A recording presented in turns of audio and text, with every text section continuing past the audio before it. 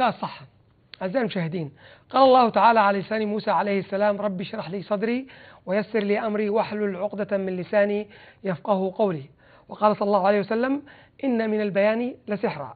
حينما ولي الخليفة عمر بن عبد العزيز آه الخلافة وفدت الوفود من كل البلدان لبيان حاجتها ولتهنئته بالخلافة. فوفد عليه الحجازيون فتقدم غلام هاشمي للكلام. وكان حديث السن يعني صغير. فقال عمر لينطق لينطلق من هو أسن منك. فقال الغلام أصلح الله أمير المؤمنين. إنما المرء بأصغريه قلبه, قلبه ولسانه. فإذا منح عبد عبدا لسانا لافظا وقلبا حافظا فقد استحق الكلام وعرف فضله من سمع خطابه. ولو أن الأمر يا أمير المؤمنين بالسن لكان في الأمة من هو أحق بمجلسك هذا منك. فقال عمر صدقت. قل ما بدا لك. كان سقراط يجلس بين تلاميذه وكانوا يتبادلون الكلام فيما بينهم فيما بينهم. فجاء أحدهم وهو يتبختر في مشيته يزهو بنفسه وسيما بشكله فنظر إليه سقراط مطولا ثم قال جملته الشهيرة التي أصبحت مثلا تكلم حتى أراك. الكلام من الخصائص التي اختص الله بها بني البشر دون غيرهم من المخلوقات الحية. من منا لا يتذكر شخصا قريبا أو بعيدا ألتقاه وعاش أو درس معه كان يعاني من صعوبات النطق. من يتخيل أن الكثير من المشاهير والعباقرة والموهوبون مثل تشرشل اللي هو ملك رئيس وزراء بريطانيا مارتن آه، مارلين مورلو ممثلة إسحاق نيوتن تشارلز داروين وحتى الفيلسوف الإغريقي العظيم أرسطو كانوا يعانون من من التأتأة. هناك العديد من الأفراد الذين قاموا بإنجازات عظيمة وكانوا يعانون من صعوبه من صعوبات في التعلم ومنهم المخترع الأمريكي توماس أديسون وألبرت أينشتاين عالم الرياضيات الفذ. هذا المساء سأتحدث عن الكلام طب التخاطب اللي ما سمعت عنه إلا من أسابيع قليلة بالمجموعة الجروب اللي عندنا كان معنا دكتور دائما كل يوم يكتب طب التخاطب وأنا دكتور استحي إني أقول له دكتور يعني إيش طب التخاطب وبعدين يضحك عليها. فرحت على جنب يعني على محادثة خاصة وقلت له أبغى حلقه في طب التخاطب. بداية دعوني أرحب بضيفي ضيفكم هذا المساء. الدكتور الأستاذ الدكتور بروفيسور خالد بن حسان المالكي وهو بروفيسور طب التخاطب بجامعة الملك سعود. أهلا وسهلا. حياكم الله دكتور حسن. آه، أول شيء أشكركم على إتاحة الفرصة هذه الحديث عن طب التخاطب. على فكرة طب التخاطب مش كلام فقط. أشياء كثيرة حتعرفها اليوم. وكويس إنك قلت لي إنه معلوماتك كذا عشان أخذ راحتي اليوم يعني ما عندي مشكلة لا ما بعدين قريت. لا. ولا كيف حضر الحلقة؟ طيب حياك. دكتور طب التخاطب أنا أشوف الكمامة ليش ما لبست الكمامة؟ والله في شيء بيني وبينك حصل حوار بس أنا حسبت المسافة اللي بيني وبينك الحمد لله مسافة جيدة. فيعني آمنة. عشان تعرف و... إني أنا ملتزم بالانظمه والقوانين أيوه أيوه. وتأكدت إن ما عندك حرارة اليوم ولا حاجة فإن شاء الله بإذن الله المكان آمن إن شاء الله أنا سعيد جدا. جدا بتواجدكم معي. الله يسلمك. دكتور طيبة. طب التخاطب. ماذا نعني في طب التخاطب؟ طيب أنا أظن هذا موضوع آه، فعلا يستحق آه، تسليط الضوء عليه لأنه ما أخذ حقه من من التوضيح والإيضاح حتى عند الأطباء. ببساطة طب التخاطب هو تخصص طبي يقبل خريجي كليات الطب. ويغطي أمراض المتعلقة بأربعة مجالات مشاكل الصوت مشاكل البلع مشاكل الكلام ومشاكل اللغة. وإذا أتيحت الفرصة ممكن نتكلم عن أمثلة عن أربع المجالات هذه آه، بشكل واضح. طب التخاطب قديم ويعني آه، مصادره قريبة أو مستلة من تخصص الأنف والأذن والحنجرة والتخصصات أخرى مثل تخصص النفسية والأعصاب. في برامج مختلفة تدرس طب التخاطب في دول مختلفة. آه، في دول ترى أو يعني صنفت طب التخاطب كتخصص منفصل. نتكلم عن مصر نتكلم عن فنلندا نتكلم عن ألمانيا. وفي. في دول أخرى ترى طب التخاطب سب سبيشاليتي تخصص دقيق من الأنف والأذن والحنجرة. في كلا الأحوال طبيب التخاطب المتخصص يتميز ثلاث أشياء رئيسة عن غيره من التخصصات طبيب يستطيع أن يشخص لأنه طبيب خريج كلية الطب يعطي تشخيص طبي. يستطيع أن يقوم بالمناظير والتنظير الحنجرة من غير إشراف ويستطيع أن يصرف الأدوية وأيضا يتعامل مع الحالات من منظور طبي بأخذ تاريخ مرضي وتعامل بشكل بشكل جيد. فأتوقع إن شاء الله بإذن الله اختياري له كان أتمنى وأنا طبعا بيصت فيه يعني شهادتي مجروحة لكن أتمنى أنه يعني قدرنا نضيف فيه وأتمنى من يتخصص فيه إن شاء الله حيفيد البلد فيه إن شاء الله. طيب دكتور بروف خالد آه، ألا ترى معي أنه التخصص من أنا حسب ما قريت من 1905 يعني قبل 115 سنة. وما زال كثير من مجتمعنا لو كان الوقت كفاية كان عندنا وقت كفاية كان ممكن نسوي استبيان. ستجد أغلب الناس لا تعرف عن طب التخطب التخاطب. بالعكس الواحد لما يتأخر في الكلام يقولوا بس اللوز شيلوا اللوز وهو يتكلم بعدين. فألا ترى أنه الآن 115 سنة وما زال الطب مجهول لدى الكثير من العامة فما بالك من بالنسبة للأطباء والعاملين في القطاع الصحي؟ هذا سؤال مهم. علشان كذا إحنا في كرسي بحث في جامعة الملك سعود اللي أتشرف بالإشراف عليه. كرسي بحث أمراض الصوت والبلع والتخاطب. نقوم بحملات توعوية في هذا المجال وفيه أيضا وحدات تخاطب في الجامعة جامعة الملك سعود الجامعة الرائدة في هذا التخصص. نقوم أيضا بحملات توعوية. الحقيقة أنه أمامنا عمل كثير وطب التخاطب على فكرة هي أحد المدارس التي تتعامل مع هذه المشاكل. في مدارس أخرى آه، صحية تتعامل مع هذه الأمراض لكن اليوم أتمنى أن يكون يسمح لي الفرصة أن أتكلم عن طب التخاطب في التعامل مع المشكلة. وعلى فكرة أنت ذكرت تواريخ مهمة لكن ترى هو بدأ قبل 1000 1905 في في الثمانينات كان طبيب بريطاني آه، اسمه ماكنزي. سمى نفسه فونياتروس يعني كان هو طبيب أنف وحنجرة في الحنجرة يتكلم. فسمى نفسه فينياتروس 1905 فعلا كان هو يوم الولادة أو سنة الولادة لها. لما قدم هيتسمان الجوتسمان قدم محاضرة عن هذا المجال. ربط بين أمراض ال- ال- الكلام في التخصص الطبي. في 19 19 ظهر الاسم اللي phoniatrics الاسم الآن. في عام 24 ظهرت أول رابطة تتعاون يعني تتعامل مع مع هذا ال- التخصص. فأصبح هو الاسم الرسمي الفونياتريكس في عام 74 1974 ظهر في مصر آه، أدخله البروفيسور الدكتور ناصر قطبي في الدول العربية ثم انتشر في في دول أخرى ثانية. نعم. طيب دكتور الآن كثير من العلوم يعني من ضمنها يمكن طب التخاطب لا توجد إحصائيات. أنا قرأت إنه 1% من الكرة الأرضية اللي هو 7 مليار أو أقل عن 1% مصابون في أمريكا 5% من الشعب لديهم مشاكل في التأتأة والتلعثم لكن ألا توجد لدينا إحصائيات سواء في المملكة العربية السعودية أو العالم العربي أو عالميا. والله أيضا أي سؤال مهم طبعا لأنه تقديرك للمشكلة يأتي من عمل إحصائية لما يسميه ال prevalence وال incidence مدى انتشار المشكلة. في السعودية صراحة الإحصائيات قليلة وهذه لا نعاني منها فقط في- طب التخاطب مشاكل التخاطب في أكثر من تخصص. هذه دعوة للزملاء ولي طبعا لي أنا شخصيا قبل نعمل على هذا المجال. وفي دراسة حقول لك بعض الإحصائيات الآن عليها. ال- الأرقام تراك مفاجئة. وبعض الأرقام اللي أقولها الآن مستندة علميا قد يتفاجأ بها المستمع.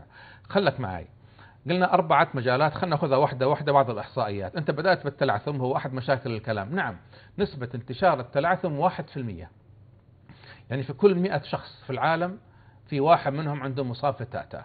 طيب ماذا عن تأخر نمو اللغة عند الأطفال؟ يقدر ب 20% من الأطفال 20% من الأطفال يعانون بدرجة من درجات تأخر نمو اللغة اللي يأثر عليهم لا سمح الله إذا ما تحسن في حالات أخرى. مشاكل البلع 90% من كبار السن يعانون من درجة أو أخرى من مشاكل البلع. مشاكل الصوت تقدر ب 10% 10 إلى 15% من مشاكل من من الناس في البوبيليشن بشكل عام يعانون من مشاكل في في مشاكل في في الصوت. فالمشكلة موجودة. طيب في السعودية إحنا عملنا دراسة دراسة في كرسي بحث أمراض الصوت والبلع. وزعنا عينة باستبانة على عينة عشوائية من مدرسين ومدرسات في مدينة الرياض. أذكر كانت العينة يمكن 400 وشوي. استبانة وزعناها على المدارس أسئلة كثيرة من ضمنها أحد الأسئلة المهمة. سبق أن عانيت من أي مشكلة في الصوت؟ بحة صعوبة ثقل أثر على عملك خلال الشهر الماضي. تعرف كم كانت النسبة في المدرسين فقط؟ 33% 33% من عينة المدرسين والمدرسات في العينة اللي درسناها كان يشتكي من مشاكل في الصوت. نسبة كبيرة منهم فكر من مرحلة المراحل أن يترك التدريس علشان مشكلة. في الصوت. نعم. إذا يسمعني الآن مدرس ومدرس ترى يعرف الكلام هذا خاصة للأسف بعض الفصول غير مجهزة للتعامل مع يعني صوت مريح يقوله المدرس أو المدرسة أو المعلم المعلمة للطلاب. المشكلة موجودة. والغريب في هذه الدراسة أيضا أنه 70% أو أكثر لما سألنا من العينة اللي قال اشتكت. قلنا طيب عندك فكرة كيف تتعامل مع المشكلة اللي عندك وتحلها؟ قال لا والله ما عندي. قال طيب هل عالجتها أو تابعت تعالجها قال لا والله ما تابعت. لأنه ما يعرف أن في حاجة اسمها طب التخاطب. هذا واحدة منها. okay، okay. هذا واحدة منها. والشغلة الثانية كثير من الأمراض في التخاطب خلينا نكون واقعيين خاصة نراها في مشاكل تأخر النمو عند اللغة عند الأطفال.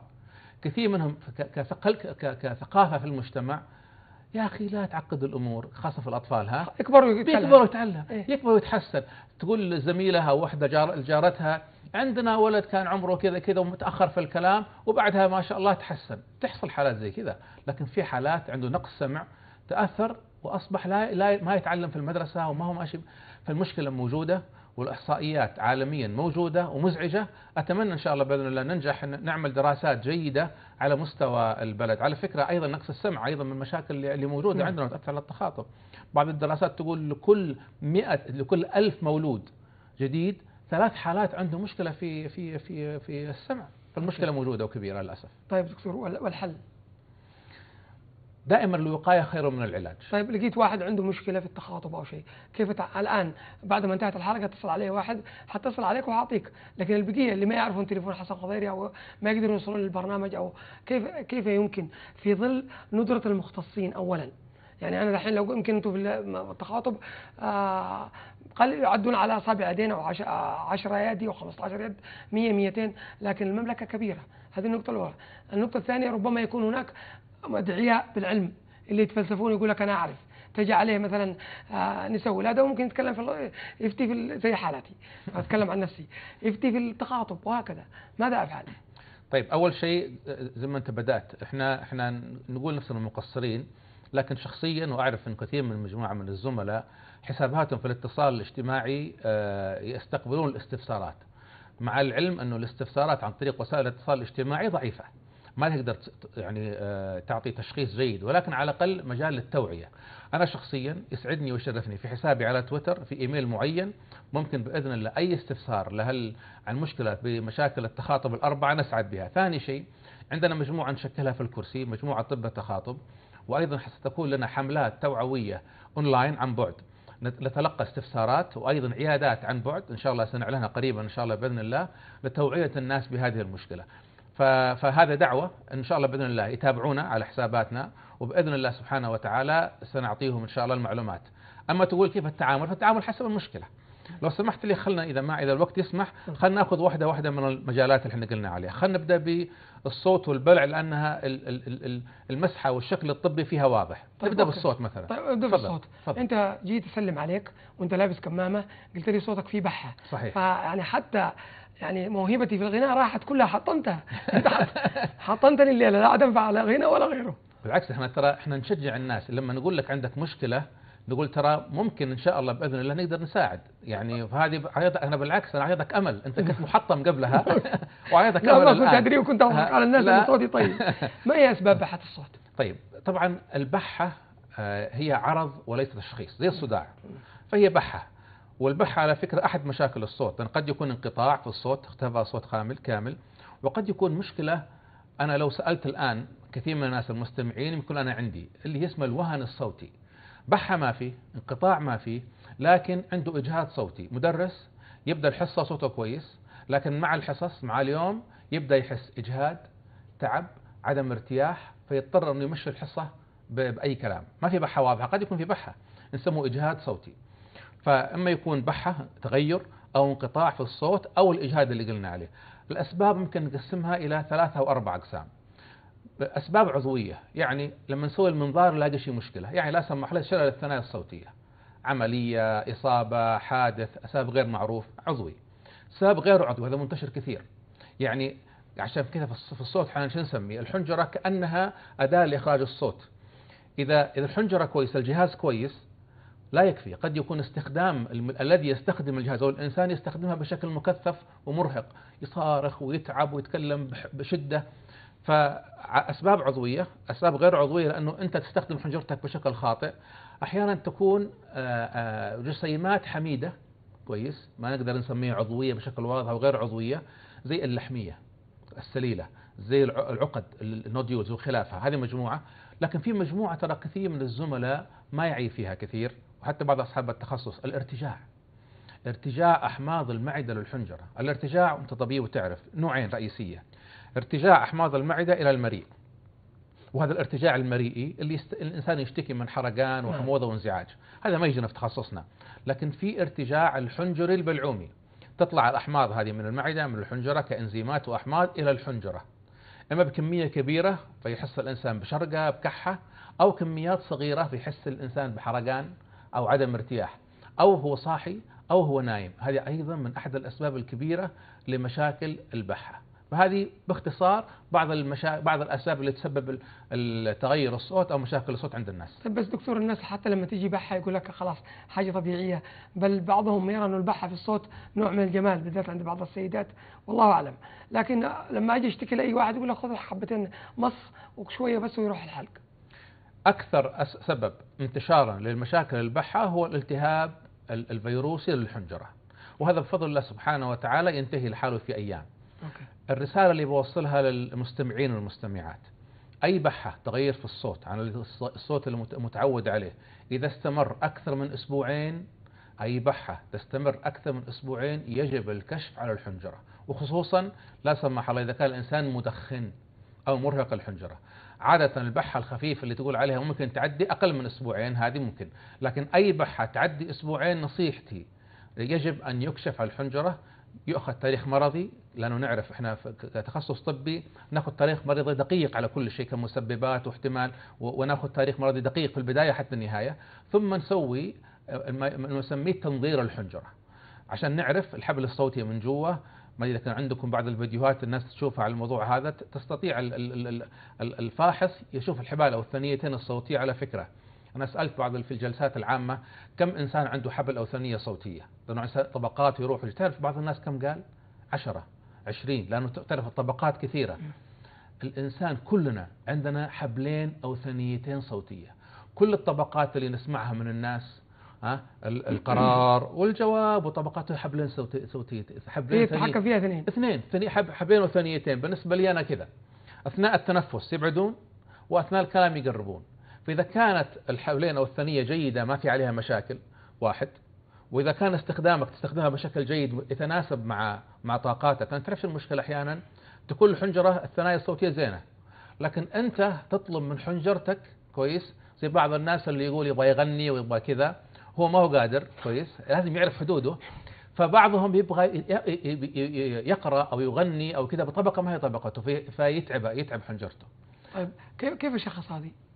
قلنا تاريخ مرضي هل, هل أو قبل هذا سمع. هل التشخيص يمكن لأي طبيب يشخصه ولا بده يجي عندك أنت الاستشاري في ظل ندرة أو قلة المختصين؟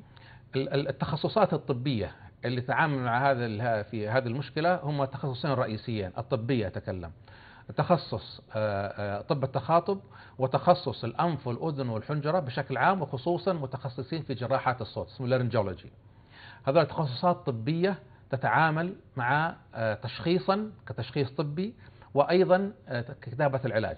في تخصصات غير طبية لهم دور كبير في هذا المجال خاصة في موضوع التأهيل والجلسات، لكن التشخيص كتشخيص هم هذول التخصصين، أنا أدعي كون طبيب تخاطب ودراستنا المتعمقة فيه إحنا متخصصين فيه بشكل كبير، وأقول لك ليش؟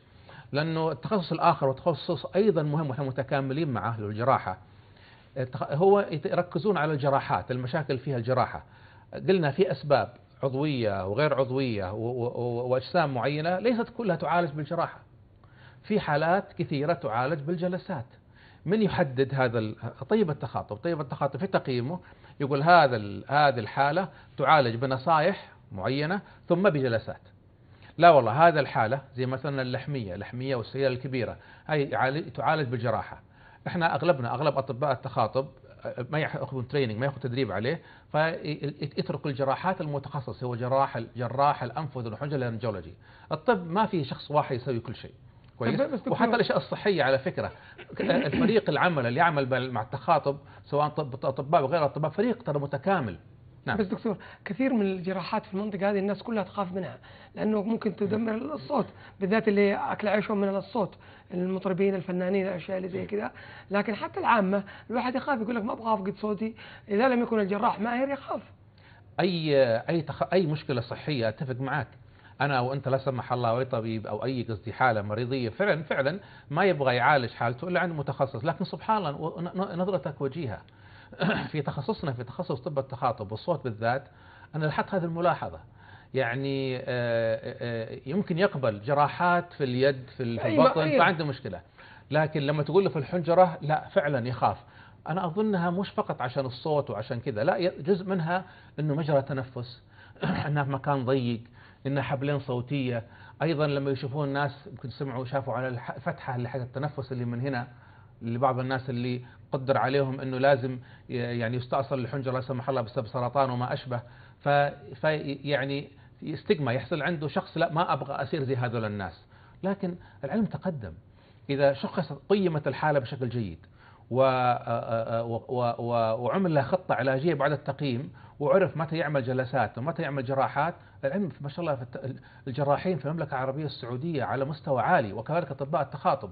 فأنا أقول دعوة للناس احرص آه، استخدم أساليب الوقاية. إذا عندك مشكلة بحها أكثر من من أسبوعين قيمها وأنت أنت جزء من فريق العلاج آه، فريق المعالج. آه، حيعطيك الطبيب المعالج طبيب التخاطب والله هذا الخطة العلاجية لنا. إذا اتفقت عليها تمشي إذا قلت لا والله بيعطيك نصائح معينة ويتابع معك والأمر إن شاء الله سهل. طيب دكتور أمر آخر. آه، اللوز قريبة من الحبال الصوتية؟ لا اللوز هي في منطقة خلف الأنف خلف الفم. وليش كويس؟ ليش الناس ت... آه، ت... يعني ت... آه، تعزو عدم الحديث بوضوح أو عدم الكلام أو شيء إلى انه التهابات في اللوز كثير. معظم الدكاترة يقول لك بس نشيل أنا صادفتني تجربة مع مع قاربي صغير. شلنا اللوز الآن ما شاء الله لسانه اطول من لسانه. آه، يمكن هذا الكلام يقودنا إلى المجال الثاني لو سمحت أن نتكلم فيه مجال الكلام. okay. يعني إحنا نتكلم قلنا مجال الصوت. طيب okay. مجال الكلام. مشاكل اللوز مشاكل اللوز هي مشكلة أعراضها. زي ما أنت عارف مشهور عند الناس اللي التهابات متكررة سخونة ع- صعوبة أحيانا في البلع. لكن ربطها بشكل مباشر بالصوت ضعيف إلا لو كان. في إفرازات مشاكل في الكلام لها تأثير في وضوح الكلام نعم لكن ترى الكلام ولو لما نتكلم عنه عملية ترى معقدة. يمكن أبسطها بأنه هي الأصوات والحروف. كويس اللي تطلع مننا بشكل واضح وب- وبطلاقة. ما يتحكم فيها فقط أعضاء النطق. أعضاء النطق هي جزء من ال- من المنظومة الكاملة. فاللوز قد تؤثر شوي شوي على خلف هي خلف الفم على بعض الحركة الحرة لأعضاء النطق لكن دورها الأساسي هنا لا. إذا قلت لي اللحمية إذا قلت والله اللحمية خلف الأنف أقول لك نعم هذه لها لها دور في الخنة إحنا نسميها. نعم. يعني في حالات يكون عنده خنة لصوت ال- صوت الط- معقول يعني ما يطلع الكم عن طريق الأنف. نعم. لكن إذا إذا عنده إصابة معينة شف يعني شق شفارة. شق خفي وأزيلت ال- ال- ال- اللحمية الخلف الأنف في حالات الخنة تزيد. فيصبح الكلام يقول غير واضح. ليش يا دكتور؟ كان كويس وبعد العملية اللوز واللحمية تأثر صوته صار عنده خنة.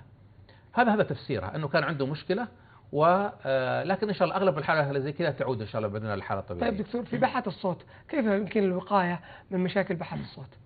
أنتم تقولوا الوقاية خير من الألف بلا شك بلا شك الوقاية خير من العلاج، أول شيء في نصائح عامة آه، أنصح بها الناس كلهم وأنصح فيها ما نسميهم محترفي استخدام الصوت.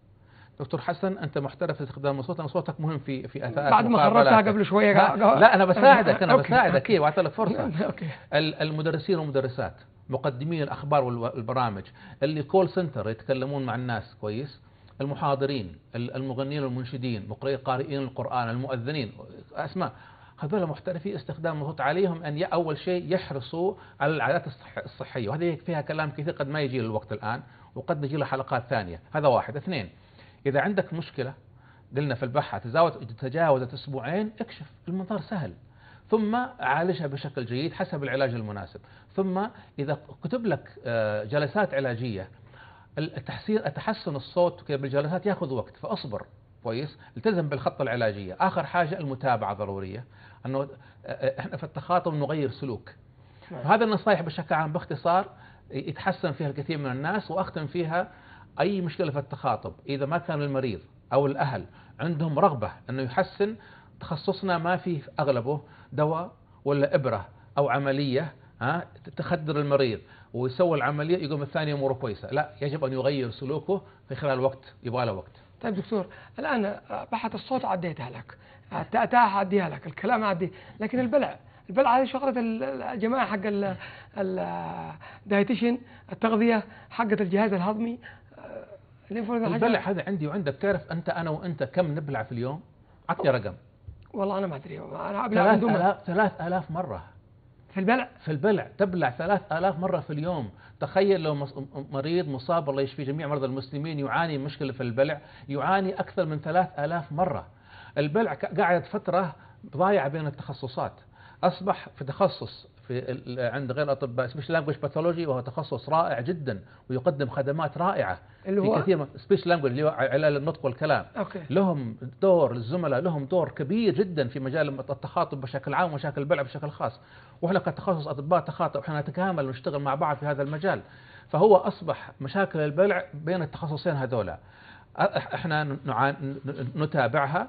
ممكن نقسمها إلى مشاكل لها دخل بما نسميه فمي بلعومي ومشاكل مريئي.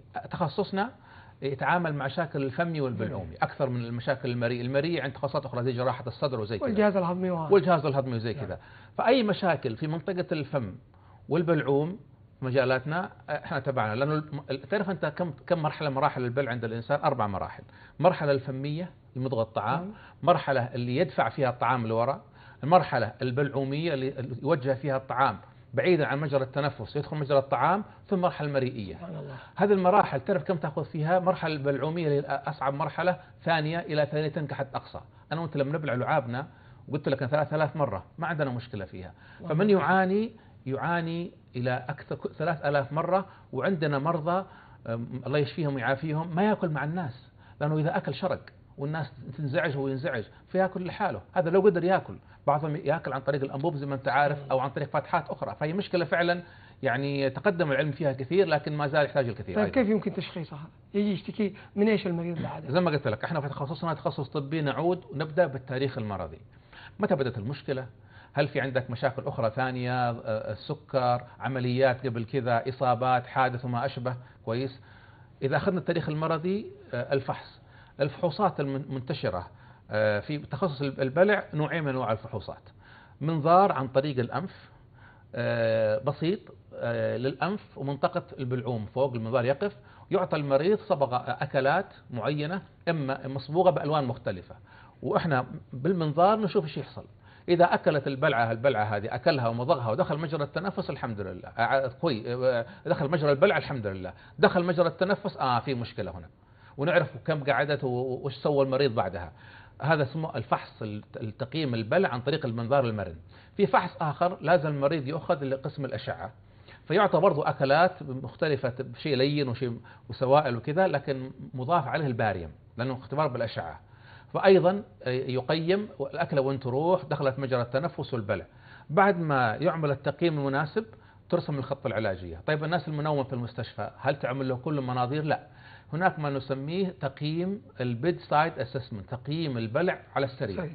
فيرسل يروح أخصائي التخاطب وهم اخصائيين زي ما قلنا رائعين وبجهودهم جهودهم كبيرة يقيم البلع للمريض عند عند السرير خاصة اللي عنده اشتباه مشكلة. إي والله الأمور كويسة الحمد لله متابع. لا والله في مشكلة يحوله إلى عملية المنظار أو كذا. بعد ما ترسم الخطة ال- التقييم ترسم الخطة العلاجية. في حالات يبغى لها أدوية وهذا قليلة. في حالات يبغى لها جلسات اللي هو العلاج الجلسات جلسات علاج البلع. وفي حالات يبغى لها جراحة حسب المشكلة.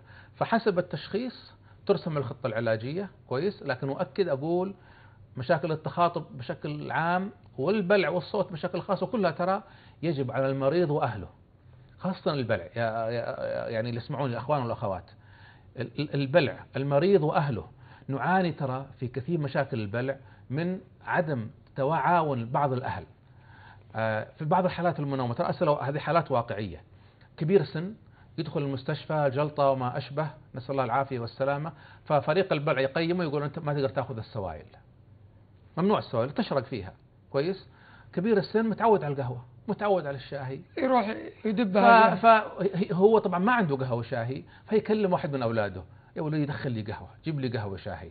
ويمكن الولد ولا البنت يعني يشوفون هذا حنين و- أيوه ويهربون. نوع من البر. إي بالضبط. فيدخلونها هذه حالات واقعيه ودخلت قهوة أو شاي ومشروبات معينة. تهرب ال- الكبير السن ما شا ما صدق ياخذها يشربها. بعد يوم أو يومين وأحيانا في نفس الليلة يأخذ المريض الشايب هذا العناية المركزة. لأنه دخلت الأكلات والمشروبات هذه في- في مجرى نفس. التنفس.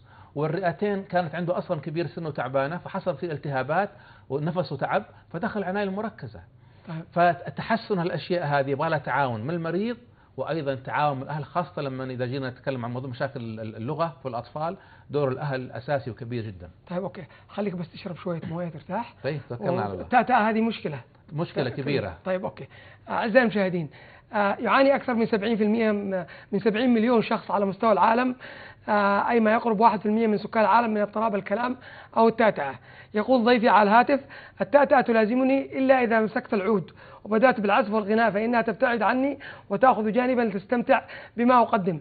وهذا جانب جميل في التأتأة إنها ليست أنانية حتى تمنعني من هوايتي وموهبتي. أهلا بالفنان السعودي حسن خيرات. مساء الخير يا أبو علي. يا هلا حياك الله دكتور. أنا شاكر لك ال- ال- الاستضافة وامسي على آه، ضيوفك الكرام رموز وطننا الأطباء الأجلاء. آه، ويعني آه، تفضل يا دكتور. كيف حالك؟ والله بخير يا تاج راسي طيب طيب حبيبي كيف بدأت قصة التأتأة معك؟ أنا أجلس لما أجلس معك أجد أن تجد صعوبة في الكلام، لكن ما شاء الله تبارك الله لما أسمع عمرو دايم ولا أسمع أي. أغنية ما في أقول هذا حسن يمكن جني راكبه. اولا يا رب لك الحمد آه، أنا آه، حظيت من رب العالمين إنه تميزني بالشيء هذا اللي اللي أنا استوعبته وترى الم- آه، يستطيع ال ال ال الإنسان إنه يعيش معاها بكيف يعني لو بحث في نفسه وجد وسيلة للتنفس إنها تساعده أثناء الكلام حي- حينطق الشيء الثاني إنه في هناك مضاعفات آه، بسبب آه، يعني أحيانا تكون من الأسرة أحيانا تكون من المدرسة من المعلم و في نفس الوقت آه، ما في شخص آه، قادر يساعدك إلا أنت ذاتك. يعني ممكن بتجد توجيه آه، طبيب يتفهم حالتك ويعرف مدى ال- السرعة اللي تداهمك ت- ت- ت- ت- ت- في الكلام وفي نفس الوقت يعني آه، قد تكون لك ميزات عظيمة يعني أنا بالنسبة لي الحمد لله يعني أعتبرها كميزة ومتصالح مع نفسي وشجاع وأتكلم وأقارع الوزراء ما شاء الله. و- طيب طيب حسن حسن أنت ما رحت ل- لأطباء وأنت صغير ما راجعت ما ما سويت شيء؟ والله و- و- والله رحم الله والدي آه، كان واعي ورجل مثقف وجابني للرياض لمستشفى الملك فيصل التخصصي. ودخلت كان في فاتحين قسم للنطق والتلعثم ما أدري إيش في ال- طو- طو- طو رحت آه، آه، زيارتين موعدين. بعدين أنا تهاوي لل- للمزيكا. وكان في طبيبة اسمها مشاعل كذا كانت كان يا أخي فالطبيب له تأثير يعني إنه يعطيك نفسية. فقلت لها أنا أدق عود. قالت حلو حلو. تغني؟ قلت لها أيوه. ف قالت لي طب هات يلا سمعني. قلت لها سمعتها وقالت لي تقرأ قران قلت لها أنا خريج تحفيظ قران قالت جود جودت قالت شوف أنت تقدر تتكلم بكل راحة. آه، حتى لو ما قدرت تتكلم بالكلام العادي تتكلم تتكلم بطريقة الغنى. وضحكتني. وبعدين يعني أنا ما عاد رحت آه، كذا اهتميت انه أنا آه، آه، اتعايش مع نفسي و ووجدت الطريقة اللي اتنفس فيها انه آه، آه، آه، يعني رحت عملت تحاليل قالوا لي عندك كهرباء مدري إيش السرعة. آه، آه، الآن والله الحمد آه، آه، المشكلة بس يعني انه لما بي- بيعجب فيك طفلك وانت تاتي ويتأتئ معك. بس بس الحمد لله أطفالك ما عندهم أي مشاكل. لا لا لا لا عندي منهم واحد آه، الولد وفي إحدى البن البنات آه، في البداية كذا ولكن يعني تغلبت عليها والولد برضه آه، حسنت من حالته كثير بنفس طريقتي وبنفس اتخاذ النفس ولله الحمد متميز ويعني معلمه بالتصالح وأموره ماشية يا رب لك الحمد طيب هل تواجه مضايقة من بعض أفراد المجتمع أو إحراج أحيانا أو أكيد. شيء؟ أكيد يا سيدي آه يعني منذ البدايات المعلم يعني لو كان أنت بتجد الرعاية في المدرسة م- ممكن آه، المعلم في المدرسة بي- يسخر فيك يجيك مترصد قوم جاوب من أجل إنك آه، تاتي ويضحك ويضحك الطلبة لكن في معلم بلسم ويقول لك قوم اكتب واكتب اجابتك ويشجعك ويعطيك روح إيجابية وتحب المدرسة معاه طيب. وفي منهم الله لا يبلغ الله يسامحهم وبس طيب. أي والله. آه، أبو علي طيب أسمع أبغى أسمع شوية من أمر دايم بس عشان أشوف بس التأتأة أنها تختفي. لا لا تختفي. يلا بسم الله. آه أنا الردايم عشان يفهموها الناس آه، شجرة الفل عندنا اللي اسمها طال عمرك هنا شجره الياسمين.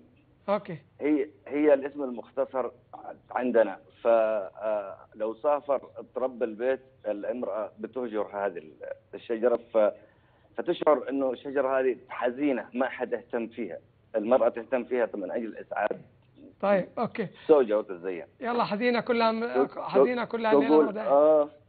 حزينة كلها الليل أمر دايم حزينة كلها الليل أمر دايم بلا ساقي بلا ساقي بلا ساقي ولا قاطف وناظم وناظم. وريح أحبابنا في الدار حايل آه مسافر صاحبي يا غارة الله. شد خلاب ليالي ومتهاين من صام طالع منها وشايم شايم شايم والله شايم. ضلايم فرقة محالي ضلايم. وحزينة مسافر صاحبي يا غارة الله. جزيل الشكر أبو علي الفنان حسن خيرات. شكرا جزيلا. وإن شاء الله. تعالى في سبتمبر ولا أكتوبر هو اليوم العالمي للتأتأة أيوة. ستكون ضيفي أيوة. هنا مع الدكتور خالد بروفيسور خالد إن شاء الله تعالى. والله أتشرف وأعتز. شرف لي يا أبو علي. أنت صديق وأخ. عزيز جدا جدا. الله يكرمكم. وأنت يا دكتور يعني هي هي هي مش مجاملة. أنت الطبيب الوحيد اللي من يوم يعني قابلته في التلفزيون مهتم بمهنته ويقدم الغالي والنفيس على جيبه الخاص. ربنا أه. يوفقك. ربي يسلك أفدتنا حالك. وعلمتنا وثقفتنا. الله يكرمك. شكرا لضيوفك ال- الكرام. شكرا جزيلا الفنان السعودي حسن خيرات. شكرا لك. طيب دكتور كيف تفسري هذه؟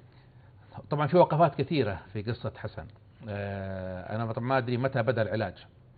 حالات ال- آه، عدم الطلاقة أشكال عشان بس تكون الصورة واضحة أوكي. هذا شكل من أشكالها اسمه. التلعثم أو. التأتأة. في شكل آخر عشان ما ننساه اسمه تدافع الكلام تقريبا عكسه اللي هو سرعة الكلام okay كلامه سريع ولا يفهم كويس هذا برضو مشكلة ولها علاج ولها يعني بس علاج يكون أصعب لكن في مشكلة كثير من الأهل آه، قد ينساها وأنا ودي ما أنساها أنا كذا كذلك لأنه آه، التعامل معها بشكل جيد آه، مبكرا ينهيها. إن شاء الله نعم. اسمها عدم الطلاقة الطبيعية. عدم طلاقة. طبيعية طبيعي. normal disfluency إيش هذه؟ طفل أقل من ست سنوات. يكرر ما عنده تتلعثم إيش هو؟ أساساته الخاصة الأساسية. إما يكرر في الصوت الأول زي ما لاحظتوا مع حسن أ أ أ أ أحمد أو يطول في الحرف الأول آ أحمد هذا قليل شوية. أو التوقف اللي كان برضو عنده واضحة أحمد. عدم الطلاقة الطبيعية أقل من ست سنوات. عنده تكرار ما عنده توقف طويل. ويكرر كلمة أو جزء من كلمة. مو أحمد أحمد أحمد مثلا بابا بابا بابا أروح معك وين وين وين محمد؟ ثالث حاجة مهمة ورابع حاجة مهمة ما عنده مشكلة ما عنده إحساس إنه عنده مشكلة. يعني آه، طبيعي. عادي طبيعي يحس طبيعي. نعاني من كثير من الأهل للأسف يعني للأسف اللي عندهم أطفال مثل هال وعادة ترى المتلعثمين ترى أذكياء. متحدث عنده عنده طاقة كبيرة وكلام وذكي. الكثير من الأهل للأسف إذا حصل حس حس يعني آه، شاهد أو لاحظ الملاحظة هذه الملاحظة هذه في الطفل إيش يقول؟ ليش أتكلم كذا يا بابا؟ لا هذا كلامك غلط، لا لا خذ نفس يلا وسوي زيي. آه أحمد طبعا الطفل حيستغرب كلامه كان كويس يرى إنه كلامه كويس فلما تنبهه بالطريقة هاي تقول له لا غلط وسوي كذا أنت بدأت تنبهه التلعثم شيء كل ما هربت منه أكثر كل ما واجهك أكبر فمو هذه الطريقة الصحيحة. طيب نخليه يعني الأهل يقول نخليه؟ لا لا لا مو نخليه. عدم الطلاقه الطبيعية زي ما أنا وصفتها قبل شوي أقل من ست سنوات وتكرار في الكلمة كويس؟ والطفل ما عنده مشكلة فيها ها؟ وتكرار زي ما قلنا فقط عليك أول شيء إنك تهملها تماما. ما كان عنده مشكلة. حنحسلها حسنها بإذن الله. ثاني حاجة خلوا ثقته بنفسه من غير ما تنبهوا عليه تقول له كذا وتوقف. طيب شو أسوي؟ بطئ هذا رسالتي بسيطة ترى. يا أبي يا أبو الطفل أم الطفل بطئوا سرعتكم في الكلام في البيت. غالبا لاحظنا الأطفال هذولا سرعة الأب والأم سريعة. كيف حالك؟ عساك طيب. الطفل الذكي يقلدك. لا وش يفهمه؟ ويفهم آه. لا عشان يقلدك. نعم. لأنه إذا بطأنا سرعة الكلام وحسن يعرف الكلام هذا. كل ما بطأ سرعته في الكلام وتحكم في النفس كل ما كان الت- التلعثم تقل قل كثير. فإحنا بالنصيحة هذه باعطائه الثقة بنفسه وما نأكد عليه وتبطيء سرعته سرعتنا عشان هو يقلدنا هذه مهمة. طيب هذا عشان ما نطول فيه هذا عدم الطلاقه الطبيعيه طيب التلعثم التلعثم مزعج. مشكلة عدم الطلاقه الطبيعيه إذا ما تعاملنا بشكل معها بشكل جيد يدخل في طريق التلعثم وطريقة طويل في اوقافات كثيرة قال قال عليها حسن. أول حاجة أنا ما أدري ك- بأي عمر بدأ العلاج. أظنه متأخر حسب ما فهمت. التلعثم عدم الطلاقة. كل ما بدأنا سن مبكر يعني اتكلم قبل المدرسة بطريقة ترى يبغى لها حسبه لأنه كل ما كان صغير زي ما قلنا ما الطفل ما يحس لكن أكبر يحس بشكل مناسب. فأقول كل ما بدأنا أسرع بك- مبكرا كل ما كان أفضل. اثنين تعاون الأهل لازم يكون جيد. ثلاثة أدوية ما فيه أدوية عشان تحسن الكلام أو كذا. تمارين و... تمارين جلسات. نعم. زي ما قال هو الثقة بنفسه. لازم الطفل يكون عنده رغبة. أحيانا يكون ط- زي ما هو الآن تلعثم بطلاقة. هو الآن قاعد يتلعثم بطلاقة. قاعد يعبر عن نفسه ويقول رأيه بشكل مناسب. هذا أحيانا كثير نبغاها. بعدين في جلسات. نعم في جلسات. إذا كان أخذت مبكرا زي ما هو قال يتحكم بالتنفس ويقولها بشكل كويس. ثم نقطة أنا قلتها قبل ما قبل اللقاء معاه انقطع. حضر جلسة جلستين وما كمل. هذا اللي قاعد نقوله. التلعثم وكل مرض التخاطب يبغى له وقت. طيب دكتور فسر لي إنه لما يتكلم معايا يتلعثم لكن ما شاء الله تبارك الله لما ينطلق في ال- الغناء هو مطرب ممتاز صوته رائع جدا جدا وله مجموعة أغاني وملحن أيضا. آه لما ينطلق مبدع ما شاء الله. ولا يتلعثم ولا شيء ليش؟ التلعثم مو بهذه بس التلعثم بشكل عام في أشياء كثيرة ما إحنا فاهمينها من أهمها أسبابه. سبب التلعثم إلى الآن ما نعرف. النظرية الجديدة الآن نوعا ما إنها عضوية وراثية عشان كذا هو قاعد يقول أولاده. ففي لها عن- عنصر عضوي وراثي عشان كذا إحنا نراها إنه مرض. لكن طيب ليش هو عنده؟ وهذه ملاحظة. لاحظنا أنه إذا كان صوت الإنسان أخذ التون يعني طبقات وطلع ونزل فيها سواء في الغناء أو قراءة القرآن. في كثير من المتلعثمين لما يتكلم يتلعثم لما يقرأ قرآن ما ما عنده نعم. مشكلة. إيه. لأنه يبدو أنه التون وينزل ويطلع وينزل هاي تحسن تعطي فرصة للكلام يطلع بشكل سهل. عشان كذا ما بدخل في تفاصيل العلاج. علاجنا في الجلسات يعتمد على أكثر من شيء. أهمها التحكم جيد في التنفس. اثنين تبطيء الكلام. ثلاثة إعطاء تون. لما كنت أقول الأب والأم يتكلمون معاه بشكل هادي يتكلمون معاه بتون. كيف حالك؟ عساك طيب. انت اليوم ممتاز. لاحظ التون. الطفل لما يتكلم بالتون هذا اللي يطلع اللي قريب من الغناء وقريب من قراءة القرآن يطلع الكلام بشكل أسهل. فهذه ملاحظة في التلعثم آه، سبحان الله موجودة. إحنا نستغلها في العلاج بالطريقة اللي شرحت لك عليها. طيب دكتور امراض اللغة تأخر النمو للاطفال وهذه إيش أسبابها وكيف يمكن علاجها؟ تعرف إيش أكثر انتشارا من من من الأربعة اللي قلت لك أنا عليها مشاكل الصوت واللغة والكلام والبلع اللغة. في أي عيادة تخاطب مشاكل اللغة أحيانا تمثل 50% مشاكل اللغة. 20 زي ما قلنا 20% من الأطفال عندهم آه، تأخر في نمو اللغة. إيش معنى تأخر نمو اللغة؟ الطفل الطبيعي يكتسب اللغة كاكتساب الكلمات وطول جملة وتكون آه، نحو اللغة آه، بع- بعمر معين.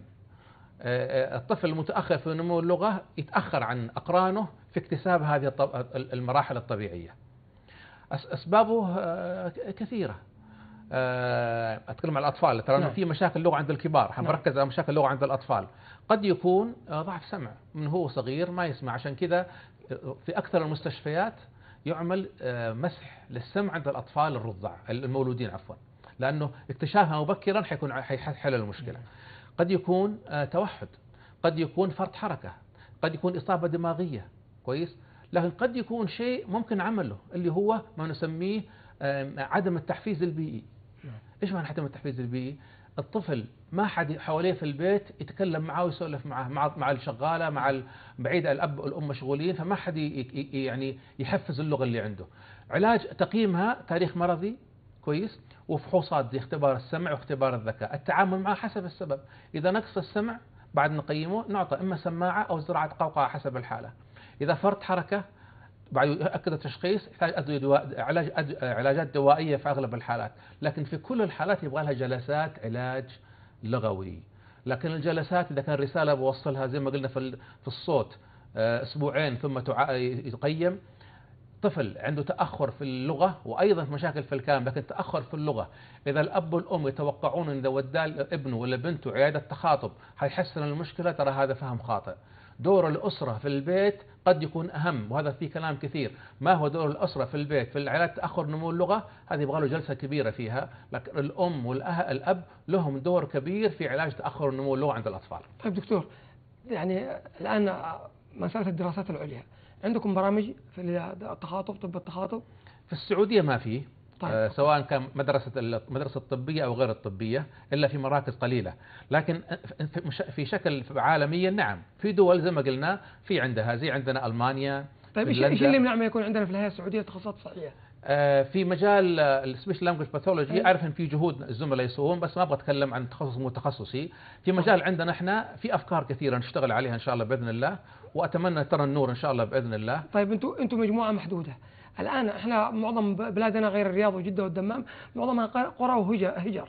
قد يجد صعوبة لما أخذ ولدي أنا في القرية وأروح لطبيب الرعاية الأولية ما عنده خلفية عن طب التخاطب ما عنده خلفية حتى يقول لك هذه يكبر وينسى يكبر ويجتهد.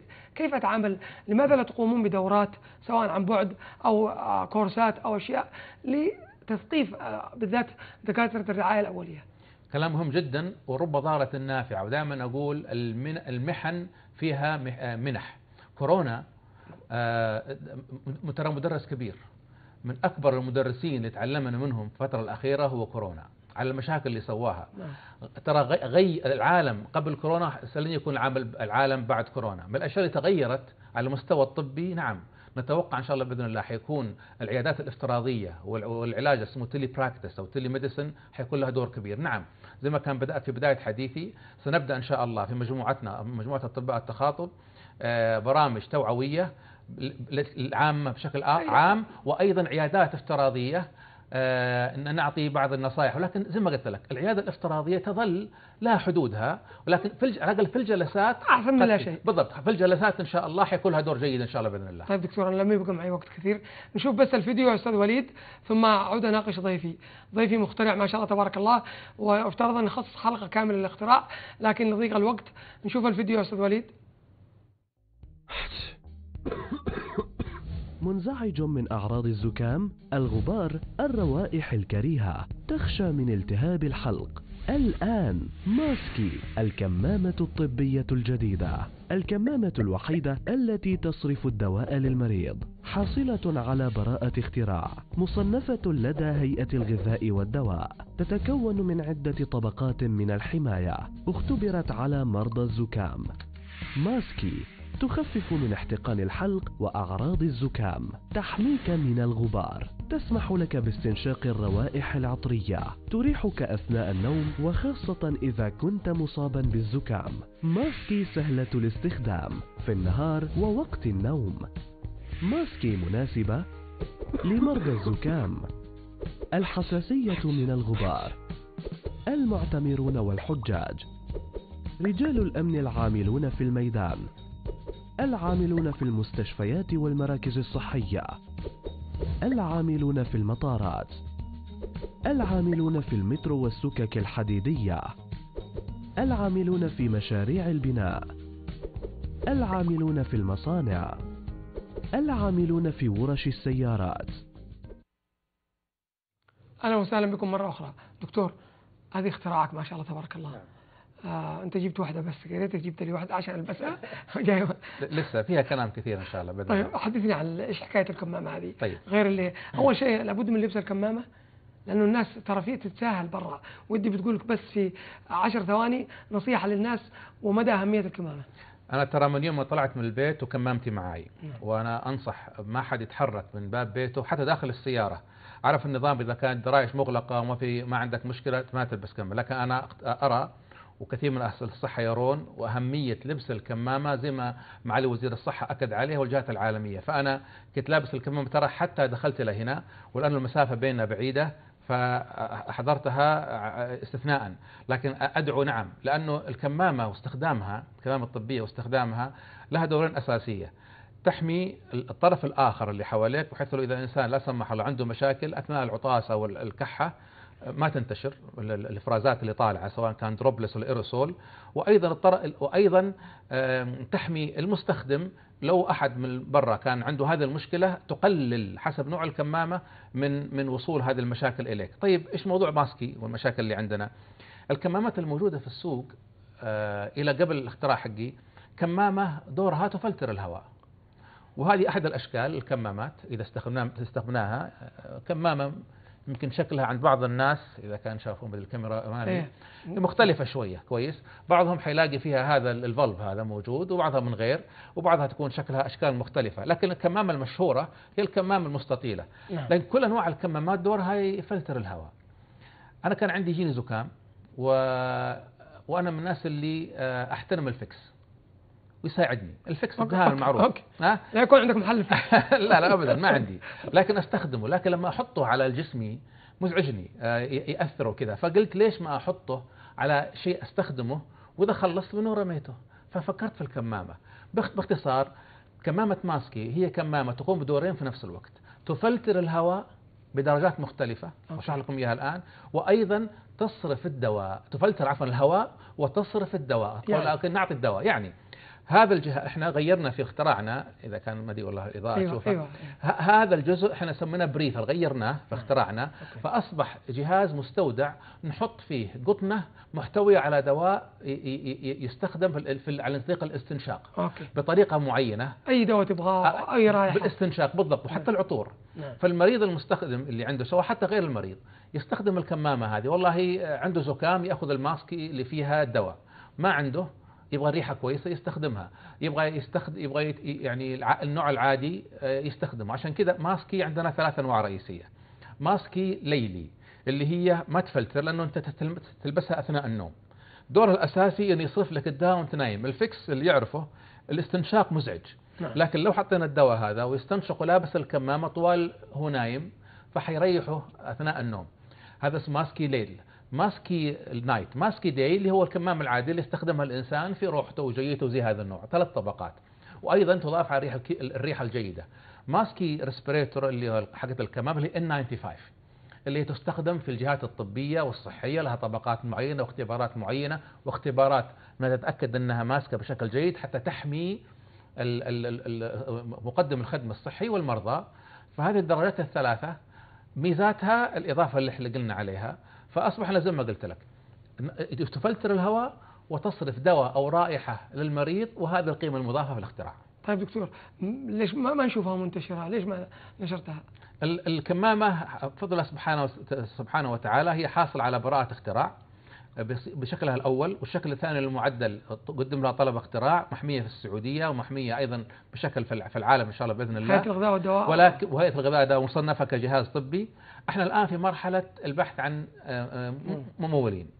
وبإذن الله سبحانه وتعالى متفائل إنه سنجد إن شاء الله ممولين. وأيضا يعني إن شاء الله حتى على مستوى الدولة إن شاء الله بإذن الله تواصل معنا جهات حكومية. لأنه آه، صناعة سعودية آه، فيها قيمة مضافة غير موجودة في العالم. أتمنى إن شاء الله بإذن الله أنه يعني قريبا نسمع من أنه يدعم هذه الفكرة. و- وعلى فكرة في دراسة طبية إحنا سويناها في كورس البحث هذا على مرضى 350 مريض عندهم common cold عندهم زكام استخدموا الكمامة. مرة واحدة أثناء الليل قيمنا مشاكل أعراض الزكام. قبل وبعد كان في تحسن في الأغلبية آه، بعد استخدام الكمامة الليلة واحدة.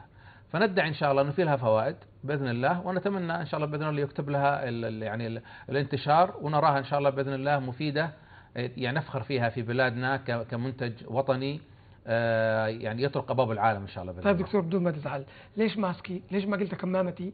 ليش ما قلت آه، ال- المالكي إيتال؟ ليش ما قلت إيش معنى ماسكي؟ ما كان mask إنجليزي. أنت قاعد فرنجه والله سؤال جيد وتوقع يعني كنت اتمنى ما تسألني هذا السؤال. وفاجاتني كويس. أنا سئلت هذا السؤال كثير.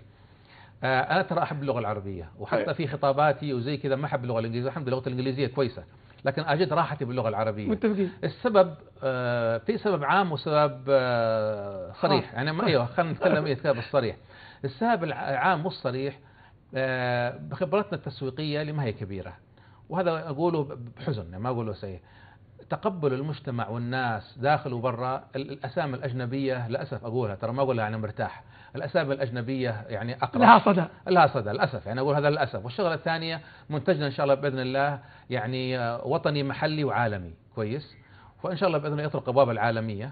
و يعني لعلها هذه يعني تغفر لنا. الله يجزاكم الخير إن شاء الله. طيب دكتور بقي معي دقيقة. كلمة أخيرة. في مجال التخاطب ومجال الكمامة. في مجال التخاطب تخصصنا أنا دائما أشبهه لل- لل- للناس. آه، إحنا زي كفرات السيارة الأربعة. آه، لازم الأربع كفرات تكون شغالة. لازم المعالج والطبيب يكون يؤدي عمله بشكل كويس هذا إن شاء الله ما فيها شك. لازم المريض يتعاون معنا. لازم الأهل المريض يكونوا يتعاونون معنا. أربعة لازم المجتمع في المدرسة تتذكر لما قال المدرسة عنده مشاكل المدرسة. كل مشاكل التخاطب لازم أربعة يشتغلون. في كل المشاكل لو واحدة من الأشخاص المراحل هذا أعيدها مرة ثانية المريض المعالج المجتمع كويس؟ اللي إحنا قلنا عليه كذا كويس؟ قلنا المريض والمعالج والمجتمع الرابعة إيش هي؟ الأربعة هذولا إذا ما اشتغلوا كلهم آه حتكون عندنا مشكلة. إذا واحد منهم قال لا والله أنا بودي المريض للطبيب يعالج وتحسن المشكلة خلاص. النصيحة الثانية علاج التخاطي يبغى له وقت. الكمامة هذا كمامة منتج منتج وطني أتمنى إن شاء الله بإذن الله يدعم. وبإذن الله يحقق الفائدة. وطموح جدا ومتفائل جدا. إن شاء الله بإذن الله تكون الفائدة فيه. إن شاء الله زي ما قلت لك تطرق أبواب العالمية. وأنا أشكرك جزيل الشكر دكتور. الله يعطيك العافية. أعزائي المشاهدين لم قليل لا تقدم جزيل الشكر لضيفي ضيفكم الأستاذ دكتور خالد بن حسان المالكي بروفيسور طب التخاطب بجامعة الملك سعود. شكرا جزيلا. يعطيكم العافية. شكرا جزيلا. آه، بقي أن أذكركم بأن حلقة هذا المساء ستكون هناك مقاطع على تويتر آه، الخاص بالقنوات. إضافة إلى أنها ستعاد آه، في أوقات مختلفة. إلى أن نلتقي وإضافة إلى وجودها على اليوتيوب أيضا الخاص بالقناة. إلى أن نلتقي الأسبوع القادم الاثنين السادسة مساء. أستودعكم الله. والسلام عليكم ورحمة الله وبركاته.